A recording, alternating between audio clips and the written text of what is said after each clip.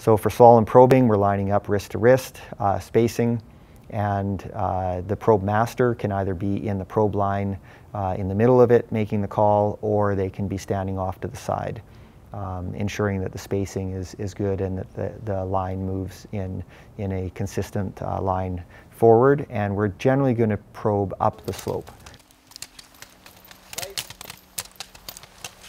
Right. Forward. Right. Right. Forward. Left. Left. Forward. Right. probe, right, right, forward, left, left, forward, right, right, forward, etc. And so you're moving uh, up the slope, and the whole the whole group is moving uh, to the right, forward, left, forward, right, forward. Um, for the area that you want to probe uh, with a 50, 50 centimeter grid spacing.